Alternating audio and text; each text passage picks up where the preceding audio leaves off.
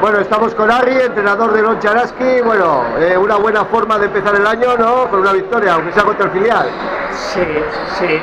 Bueno, un partido un poco, un poco trampa, un poco incógnita, porque no sabemos en qué punto llevamos las navidades, del parón este que hemos tenido. Entonces, bueno, eh, las sensaciones son positivas. El equipo ha trabajado bien, hemos estado intensos durante la mayoría del partido. Es normal que no estemos con una fluidez y una frescura pues eh, óptima, pero bueno, en líneas generales estoy contento. Las chicas han, se han divertido el partido, hemos podido competir y bien.